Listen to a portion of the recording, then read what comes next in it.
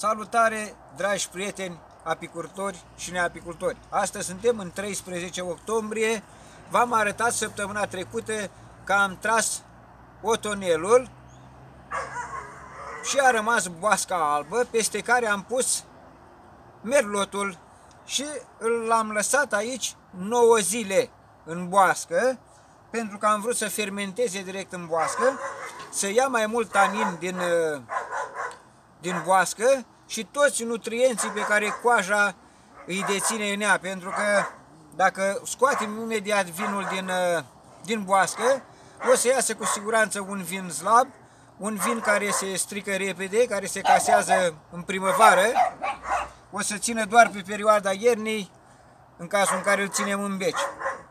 Acesta sunt sigur că o să iasă aproape limpede, dacă nu chiar limpede, de o calitate superioară, pentru că anul ăsta o să avem vinuri de calitate superioară.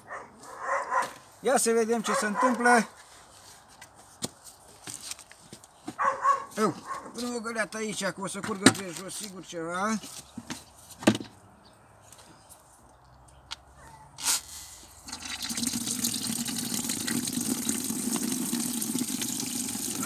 Da, este un roze. O să aduc imediat un pahar. Să vedem cum apare el, se vede că deja este aproape limpede. Deci a trecut de stagiul de must, de acum este vin, după cum îl miros. O să aduc imediat un pahar să vedem cum apare la culoare. Și am aici o fetiță năzdrăvancă care îi place și ei să apară în filmatele mele. Hop, așa. Numai un pic. Pauză. Ok? Uh -huh. Ia uitați, dragii mei. A ieșit un roze, exact cum mă așteptam. Un roze de bună calitate. Ia să acrit. Da, miroase deja acolo?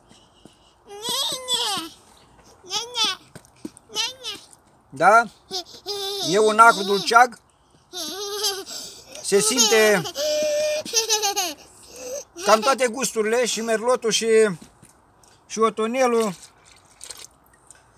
Da, e o calitate superioară. Deja o să se elimine mult din, din torocala care se lasă la fund.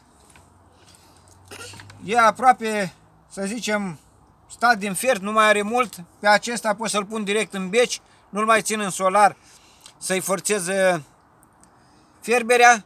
O să-l pun direct uh, într-un butoi de fibră în beci, se ține foarte bine la beci. O să mai fiarbă probabil 2-3 săptămâni în beci când beci este cald și pe urmă o să se acrească.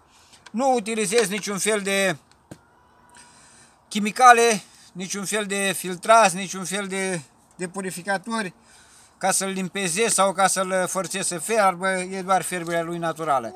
Așa ies uh, cu adevărat vinurile 100% naturale, fără chimicale în ele. O să fie doar ceva remășițe de, la, de pe la stropeli, ceea ce a rămas pe boabă, dar uh, viticultorii experți nu stopesc în, aproape, în apropierea coacerii ca vinul să fie cât mai natural. Uh, ce să vă mai arăt, dragii mei, vă pot arăta că v-am arătat că bâzia albina, dar vă arăt că încă mai fierbe și bulionul mai avem încă producție de roșii, chiar dacă prin alte părți a dat bruma, s-au stricat cam toate prin grădini. Noi suntem norocoși de o vreme încă bună, prielnică țăranului, celui care mai are câte ceva prin grădină. Cu aceasta, dragii mei, vă salut și vă urez numai bine. Să auzim de bine și multă sănătate!